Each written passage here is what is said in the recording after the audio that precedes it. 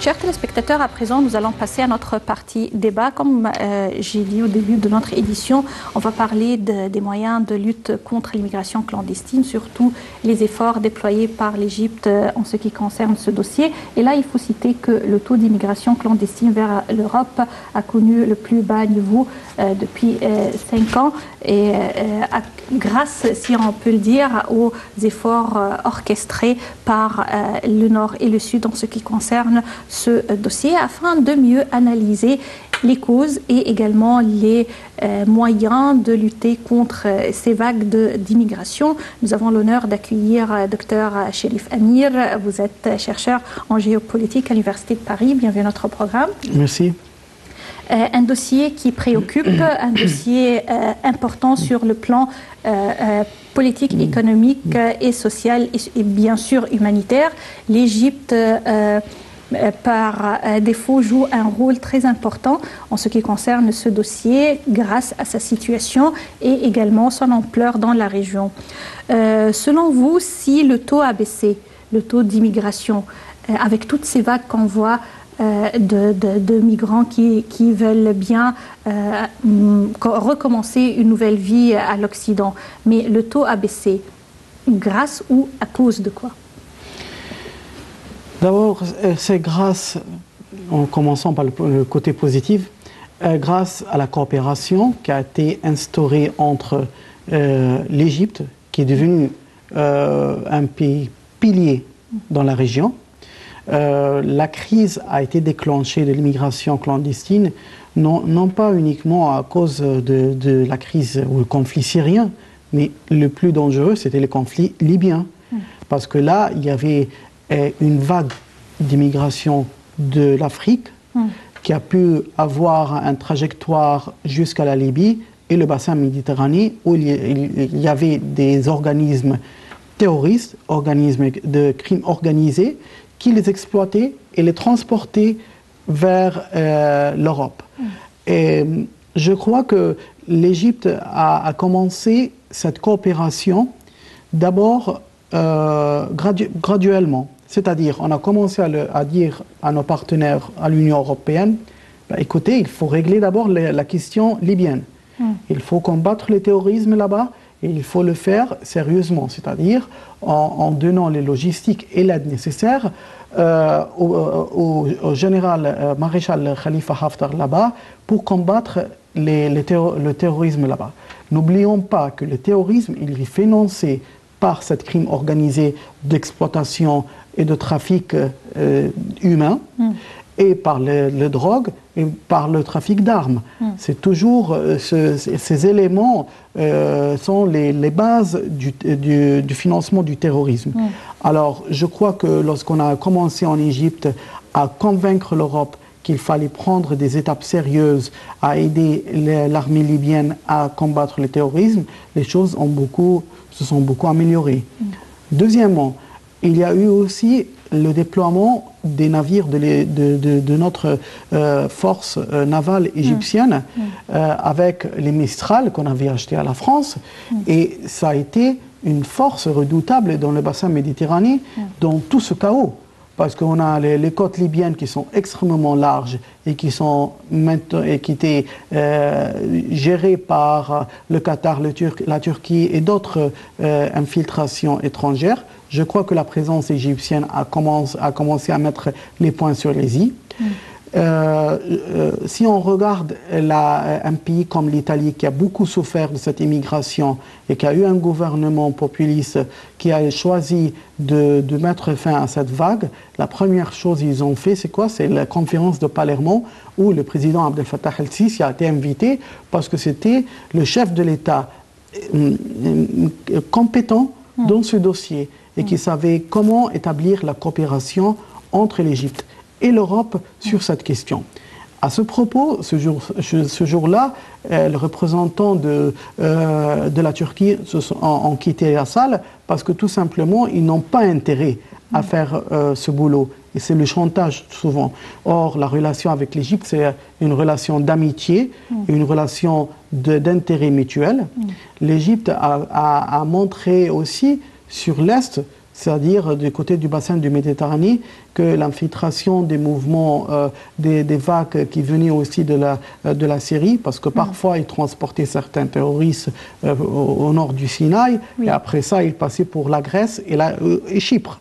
Alors là aussi, la présence maritime, la présence des forces navales égyptiennes a participé à cela. N'oublions pas un, point très important aussi.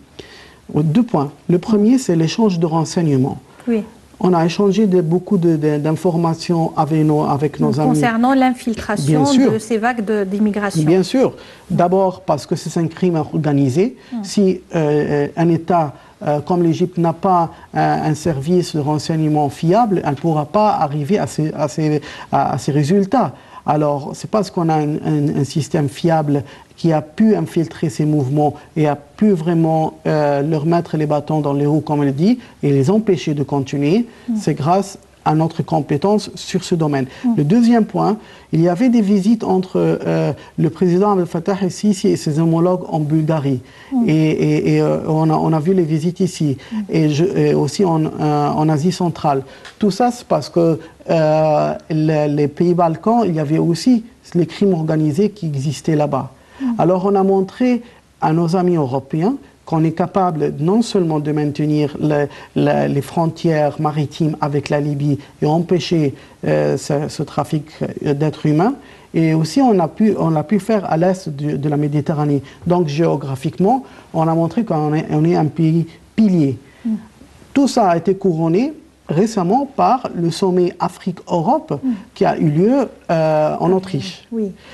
oui, justement, le dossier de, de, l'immigration a été euh, discuté en ce qui concerne le, le, niveau bilatéral entre l'Égypte et l'Autriche et également au cours du forum euh, Afrique-Europe.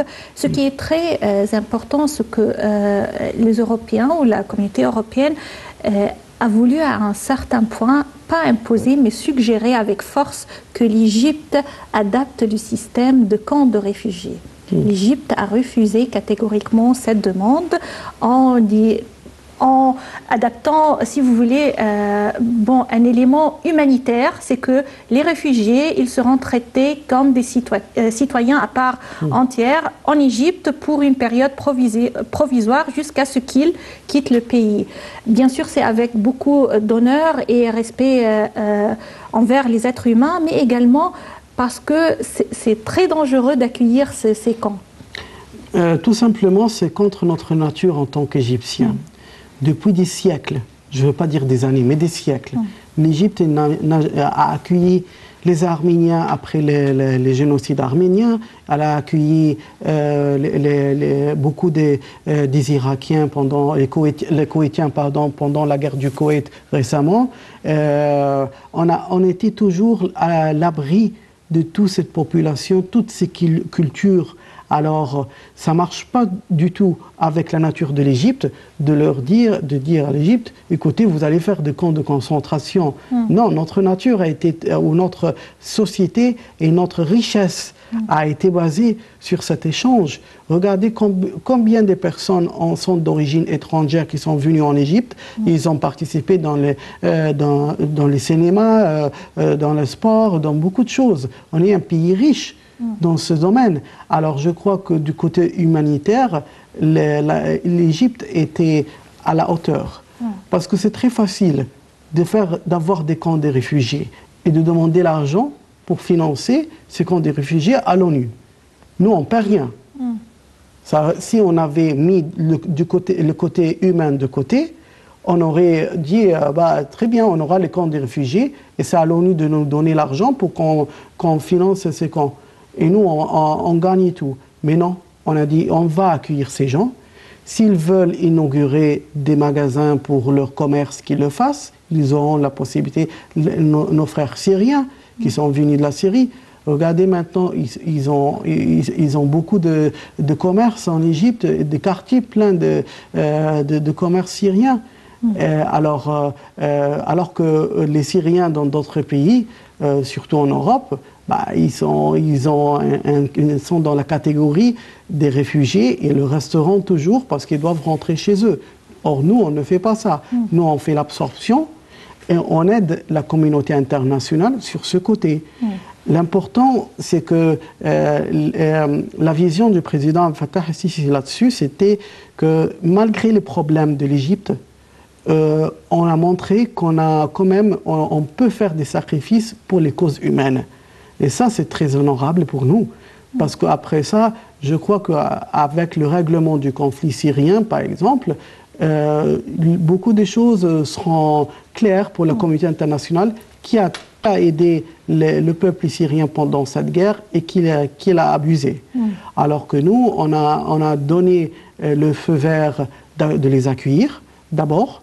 Jamais on a fait des trafics de, de ces êtres humains pour l'Europe ou ailleurs. Mm bien sûr, s'ils veulent euh, partir ailleurs, qu'ils le fassent. Mais la libre euh, circulation, elle est garantie pour eux. Mais normalement, on a demandé qu'ils soient ici comme tous les citoyens égyptiens à, pied d'égalité.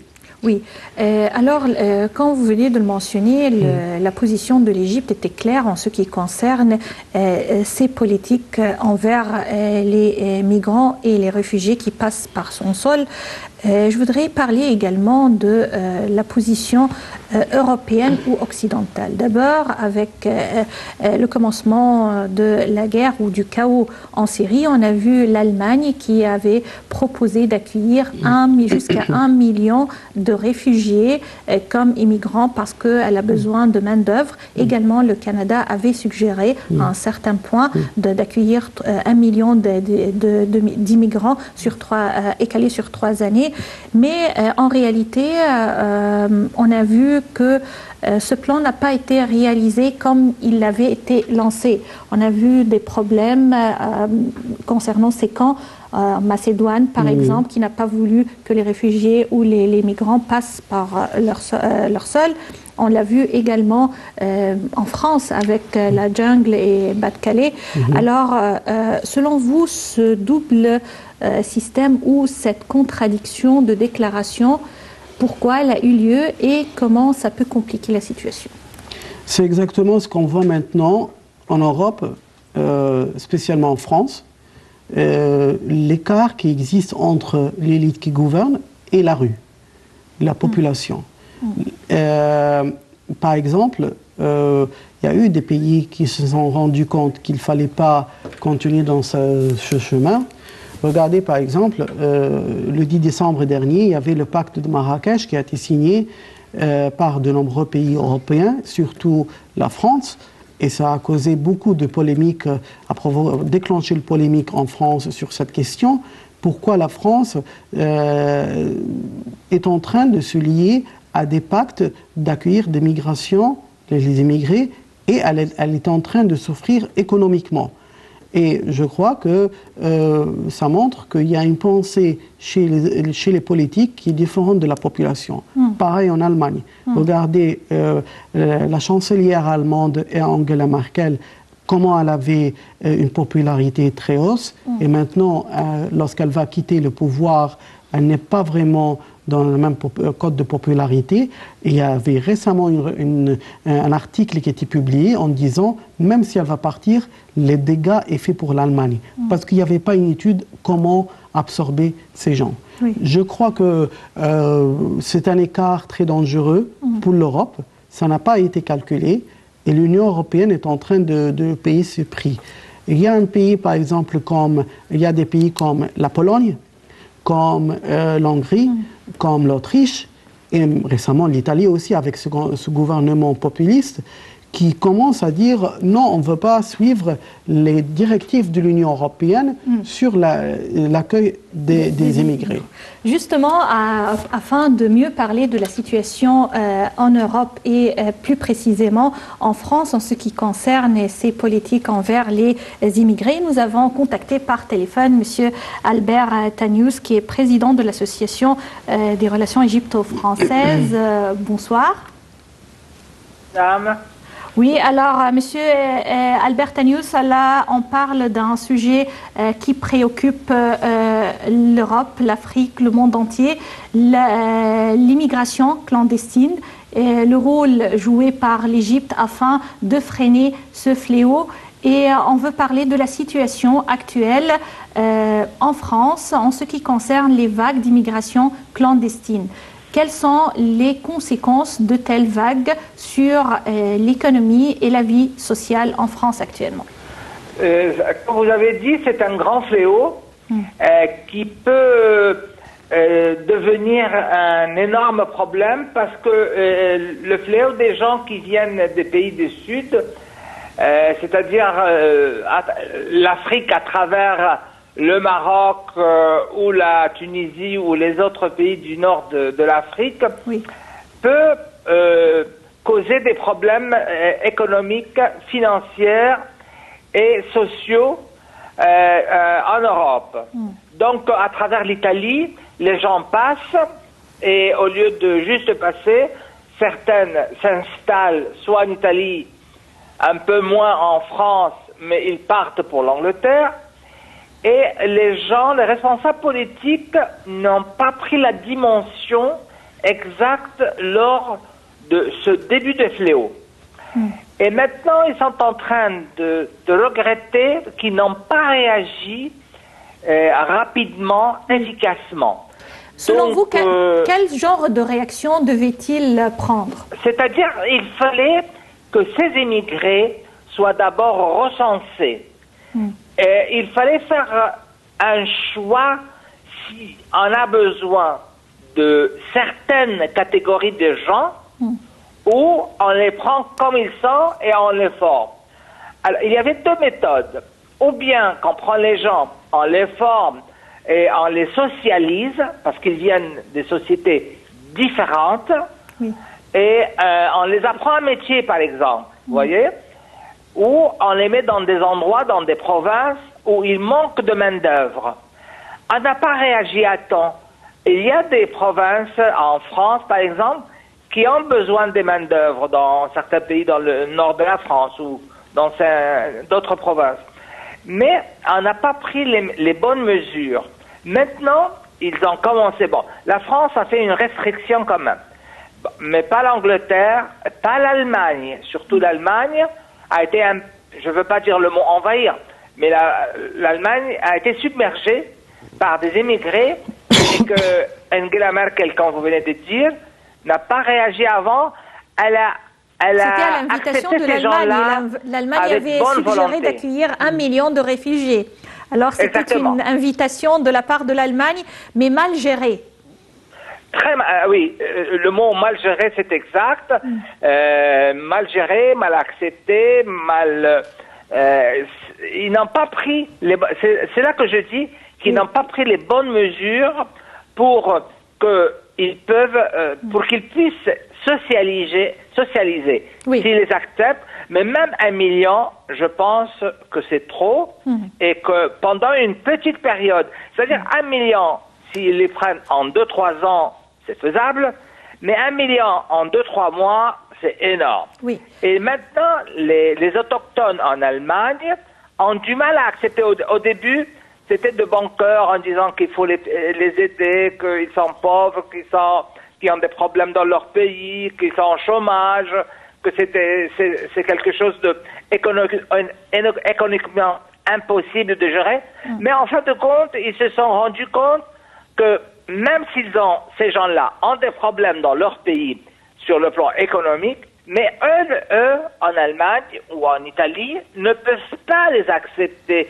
économiquement, socialement, culturellement. Donc, il fallait procéder avec une autre façon. Oui. Assimiler les gens, c'est pas une œuvre facile. Oui. C'est pas quelque chose de facile. Oui, Monsieur Albert euh, Tanius, euh, vous êtes euh, le président de l'Association des relations égypto-françaises. Je vous remercie infiniment pour ces précisions. De retour à notre invité au studio, docteur Sherif Amir, vous êtes chercheur en géopolitique à l'Université de Paris. Et là, je voudrais également faire une petite comparaison entre ce que M. Tanius avait dit que cette invitation de, de réfugiés ou d'immigrés était mal gérée et par la situation pareille en Égypte. C'est que l'Égypte a accueilli des, migrants et des réfugiés venant non seulement de la Syrie, du Yémen également, de l'Afrique subsaharienne. Euh, tous sont venus en Égypte avec un amalgame de culture, de coutumes et de, de mode de vie. Euh, on n'a pas entendu parler, euh, sauf bien sûr les, les, les, menaces bandites de, de, groupes ou de groupuscules terroristes qui avaient dès le début un autre plan, mais les, ceux qui, qui ont trouvé refuge en Égypte, on n'avait pas entendu parler d'incidents ou de malintégration de ces gens euh, en Égypte. Tandis que ce problème est très grave euh, euh, en Occident. Si on fait la comparaison entre les deux cas avec les mêmes migrants, selon vous, pourquoi ici en Égypte on n'a pas affronté ce problème, tandis que en Europe, qui a besoin de, main-d'œuvre, qui a besoin de, peut-être de, migrants, affronte un tel problème? Il y a de nombreuses raisons. Euh, d'abord, je crois que ceux qui sont venus, prenons l'exemple syriens d'abord, ceux qui sont venus en Égypte, ils étaient principalement euh, qui travaillaient dans les commerces, des familles qui travaillaient dans le commerce. Et ils ont mieux raisonné l'affaire, c'est qu'en Égypte, ils seront mieux accueillis et peut-être euh, ils peuvent avoir leur avenir dans ce pays. Or, la catégorie qui a été expulsés ou utilisés pour l'envoyer en Europe, comme vous, venez de dire, main-d'œuvre. C'est-à-dire, ils étaient démunis, mm. ils n'avaient pas les moyens mm. et euh, même pas la langue, euh, la langue ou la connaissance de la culture là-bas. Et la vision pour eux, c'est qu'on leur a promis une terre promise. Ils arrivent là-bas, mm. il y aura la nourriture, le, le travail, et s'ils ne veulent pas même travailler, il y aura l'aide sociale, mm. il y aura la garantie euh, de, traitement médical, l'éducation pour les enfants. Donc c'est une terre promise, pleine de profits, et rien que ça. Ils n'ont pas été euh, préparés qu'il fallait travailler, qu'il fallait contribuer. Et je crois que c'est la différence. On a eu la chance sur cette question. Et aussi les, immigrants africains, subsahariens, comme vous venez de dire, je crois que euh, l'Égypte, euh, c'est une société assez, euh, on est une société assez conservatrice quand même. On a notre, notre tradition et on accepte l'autre. Or, il y a une contradiction énorme en Europe, c'est que ce sont des sociétés très ouvertes, très libérales, mais en même temps, il y a toujours une crainte de ce qui est étranger qui est étranger à la culture européenne ou même à la culture du pays, vu leur histoire et les guerres qu'ils ont subies. Il y a toujours un peur en France, par exemple, sur, chez beaucoup des gens qu'il euh, y aura un, conflit, un choc euh, culturel ou religieux, mm. ou un jour il y aura un, remplacement ethnique, comme on parle maintenant en, euh, en, Allemagne, que les Turcs commencent à avoir. Mm. Et en Belgique, il y a plein de menaces. et aussi des Marocains en, Belgique, mm. et les Pakistanais en Angleterre, et les Indiens là-bas. Alors, il y, a, y, a y, a, y a un énorme problème sur ce côté. N'oublions pas aussi une chose, le taux de natalité. Nous, on n'a pas ce problème ici en Égypte. Euh, en Europe, en Allemagne, c'est un grave problème. Oui. Euh, Croyez-vous que peut-être euh, à cause de ces vagues de, de, de, de, réfugiés et de migration clandestine qu'actuellement en Europe, le courant de droite radicale ou nationaliste augmente? On le voit de plus en plus sur la scène politique? Oui et non. Hmm. Oui, parce que ils sont maintenant, ils ont un, argument à dire aux, gens, euh, voyez, on a raison. Hmm. non, parce qu'ils n'ont pas la solution. Personne n'a la solution. Et tout le monde maintenant, par exemple, en France, euh, mouvement le mouvement de Gilets jaunes, qui est un mouvement franco-français, ceux qui sont de la rue sont français, ne sont pas d'origine euh, étrangère. Mm. Euh, ils condamnent la politique migratoire et le pacte de Marrakech signé par M. Macron. Mm. Mais en même temps, ils n'ont pas envie de suivre mm. le Rassemblement national qui était le Front national de Marine Le Pen. Ils ne veulent pas prendre ce chemin parce que tout simplement, ils comprennent une chose tous les pays européens, que ce soit en Allemagne, en parlant d'extrême droite et tout, toutes les euh, factions politiques, ils ont un problème. C'est comment sortir de l'Union européenne. Parce que tous les problèmes maintenant, c'est la directive, directive européenne. Alors, alors que ce soit un gouvernement extrême droite, extrême gauche, centre, droite et gauche, le problème, il est toujours là. Mm. C'est l'Europe. Oui. Alors, il est, il est temps de parler d'une question très importante en ce qui concerne ce dossier de, de migration. C'est que comment, comment ne pas pousser les gens à immigrer et à prendre des risques, à risquer leur vie pour arriver, comme vous venez de le mentionner, à une terre promise? Alors là, euh, ce sont des, stratégies et des, euh, bon, des protocoles euh, qui, qui passent par le monde entier à travers des entités comme l'ONU, l'Union européenne, mmh. l'Union africaine, en collaboration ensemble afin mmh. de, de, de suggérer des plans de développement durable dans mmh. ces lieux où il y a des problèmes pour ne pas pousser les gens à immigrer où on est en ce qui concerne ces plans. Si l'Occident il souffre de ces, euh, de ces vagues, mm. qu'est-ce qu'il a suggéré à l'Afrique, euh, à, à, l'Asie, afin de ne pas euh, être cible de ces vagues d'immigration? Tout, tout d'abord, inaugurer des projets sur le continent africain. Mm. les pays européens, ils ont eu un passé de colonisation avec l'Afrique et maintenant, il y a ce problème de, euh, filiation euh, illégitime entre, entre, guillemets entre les populations qui veulent immigrer en, en France parce qu'ils parlent le français, ils, ils, ne connaissent que la France comme une terre promise, ils savent que l'avenir là-bas, et qui sont sous des, des, des, régimes qui ne vont pas leur offrir la, la, vie euh, euh, correcte pour un être humain. Mm. Alors je crois que maintenant, l'Union européenne surtout, parce que ça va coûter de l'argent, je crois que c'est l'Union européenne qui mm. pourra faire ça contribuer à des projets dans les pays africains. Mm. Il faut le faire. L'Égypte l'a dit à plusieurs reprises, qu'il faut concrétiser ces, ces, ces, pactes comme ça. L'Europe a commencé à s'inquiéter un petit peu de ce qui se passe en, en Afrique parce que uniquement euh, la Russie et la Chine ont commencé à faire des, des investissements là-bas. Mmh.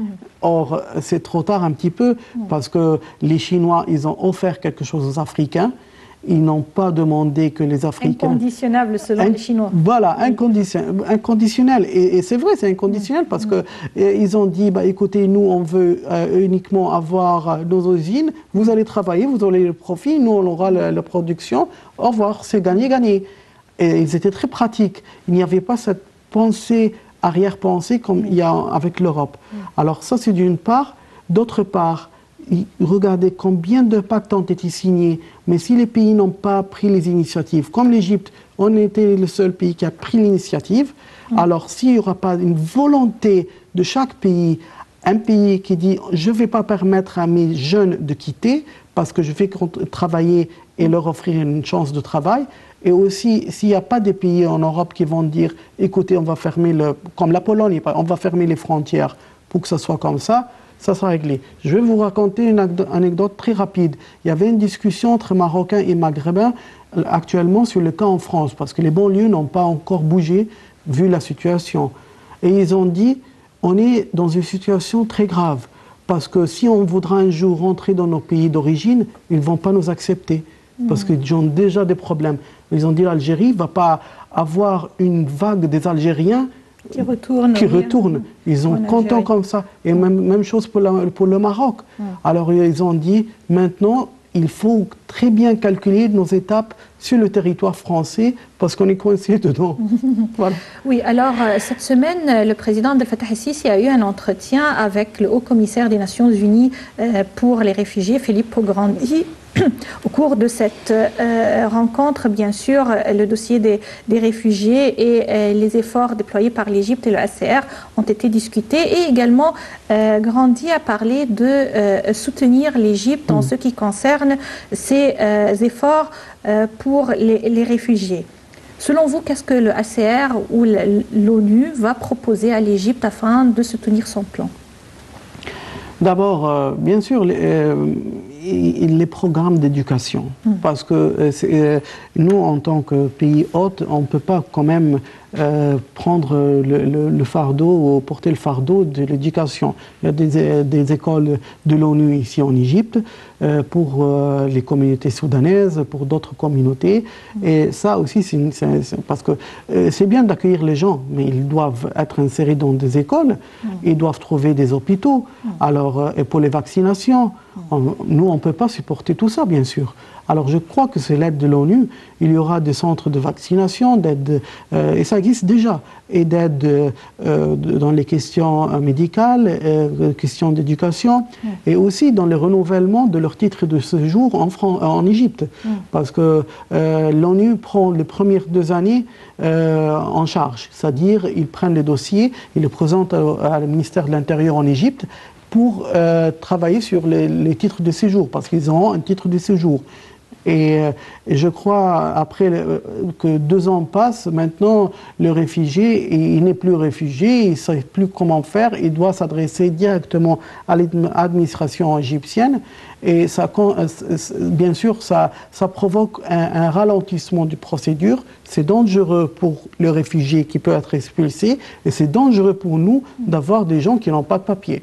Alors, je crois que euh, c'est un plan qui va être présenté au président Fatah el-Sisi. C'est que peut-être il y aura une coordination encore plus étroite avec l'ONU sur la régularisation des papiers de ces gens-là qui sont sur le territoire égyptien. Oui, puisque vous l'avez mentionné, euh, les papiers et l'état des réfugiés, on a toujours euh, des, des, doutes en ce qui concerne euh, la sécurité. Euh, avec des fléaux de réfugiés qui viennent, comment peut-on être sûr de, ces euh, euh, réfugiés, s'ils sont fichés ou non, s'ils sont à suivre ou non en ce qui concerne la matière de la sécurité? Comment, selon vous, est la stratégie en ce qui concerne ce point? D'abord, le résultat ne sera jamais 100% mm. sur, ce, sur sa catégorie. Deuxièmement, c'est le travail plutôt du, service de renseignement mm. qui savent très bien le mouvement de ces réfugiés, qui fait quoi dans ces mouvements. Mm. Et euh, regardez, il y a eu une nouvelle il y a quelques jours à l'aéroport du Caire, lorsque l'Allemagne a dit deux de nos citoyens ont disparu en Égypte. Or, et ça s'est avéré qu'ils étaient des Égyptiens double nationalité qui appartenaient à Daesh et qu'ils allaient faire des attentats au nord du Sinaï. Mm. C'est grâce à nos services de renseignement. Ils n'ont pas disparu, ils ont été expulsés. Exactement. de retour en Allemagne. Exactement. C'était une mm. politique très claire de l'Égypte. Ça dit bah écoutez, vous euh, vous dites que vous êtes persécuté, bah au revoir, mm. rentrez. Oui. Alors, je crois que c'est le service de renseignement qui a fait son travail, mm. excellent travail, parce que l'un d'eux était au Caire, l'autre était au sud de l'Égypte, et les deux devaient aller au nord du Sinaï alors mm. qu'ils venaient de l'étranger. Mm. C'est un travail énorme du, service de renseignement de, ramener et de rassembler toutes ces informations, on les mettre euh, comme cadeau à l'Allemagne qui a dit bah, ils ont disparu. Bah non, ils sont là, prenez-les. Alors, je crois que c'est le travail de renseignement sur cette question. Docteur Sherif Amir, vous êtes chercheur en géopolitique à l'Université de Paris. Merci bien d'être parmi nous aujourd'hui. Merci. Euh, chers téléspectateurs, notre dossier aujourd'hui portait sur euh, l'immigration clandestine et, les efforts de l'Égypte afin de lutter contre ce fléau. et également, je tiens à remercier M. Albert Tanius qu'on a rejoint de, de Paris, les présidents de l'Association des relations égypto-françaises. Merci à vous et passez d'excellents moments avec la suite nos programmes sur NLTV International. Au revoir.